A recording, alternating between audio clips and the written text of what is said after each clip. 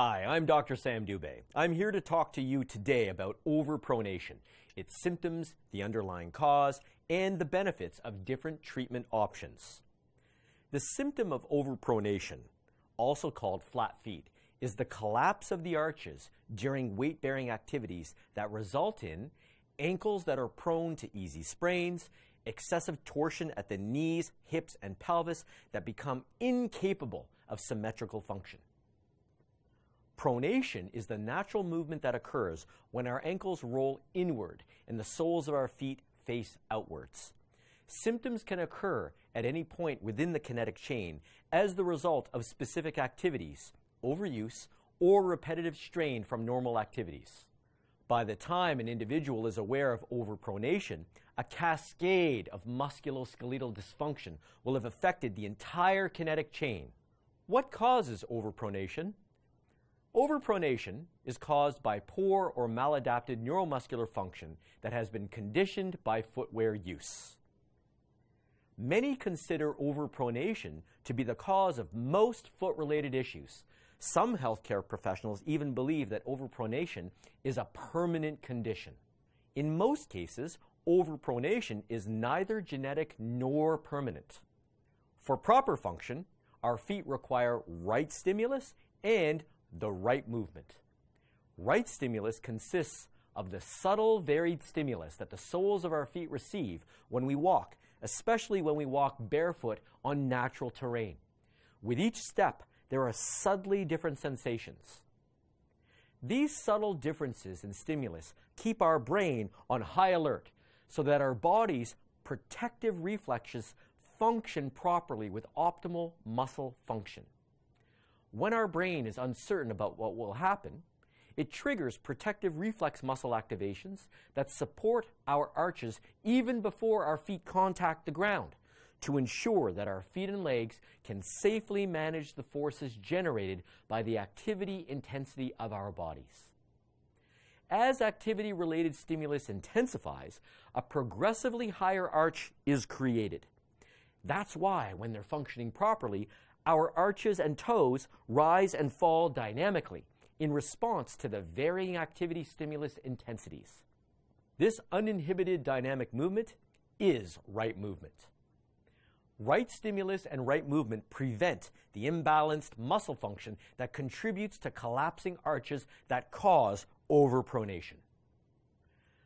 Conventional footwear impairs optimal foot function in two ways. First, most conventional footwear dampens right stimulus.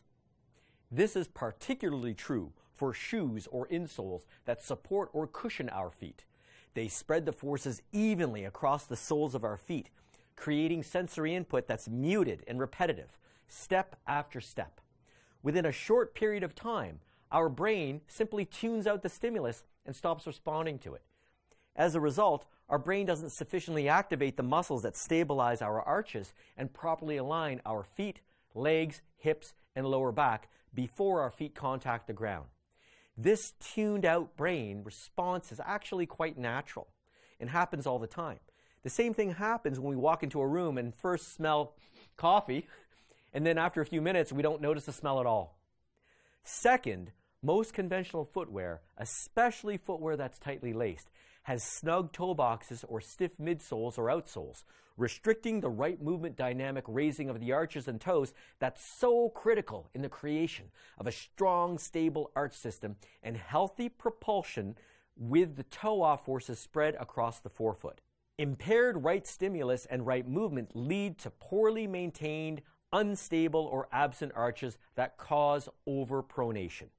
Conventional treatment methods for overpronation include the following heel wedges, supportive products such as orthotics, taping or bracing, and therapeutic exercise.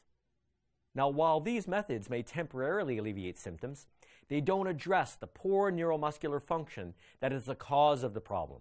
In fact, the more we artificially support or cushion our feet, the weaker and the more dependent we become on these types of products. Now, these old school support and cushioning treatment methods are actually not recommended in any other area of musculoskeletal medicine as a viable long term treatment option. In fact, today's modern treatment methods for poor neuromuscular function focus on increasing mobility, muscle strength, and proper alignment via proper technique exercise, which requires both right stimulus and right movement. Science has shown that simply challenging the body to do its job is the best way to restore and enhance function. This principle is the foundation for virtually all of today's sports training and rehabilitation programs. To address the poor neuromuscular function that causes overpronation and prevents it from recurring, I recommend the following. Walking barefoot on natural terrain as much as possible.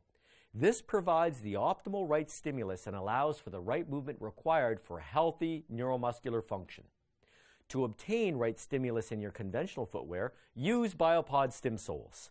For best results in conventional footwear, use BioPods Stimsoles in loosely laced, soft, flexible footwear that allows your arches and toes to rise easily.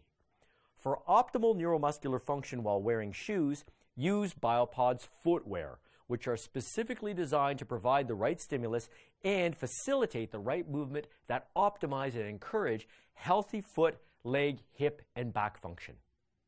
Remember, consult with your healthcare practitioner and ask them about employing soft tissue mobilization therapies to address the fibrotic scar tissue that may have formed in the past.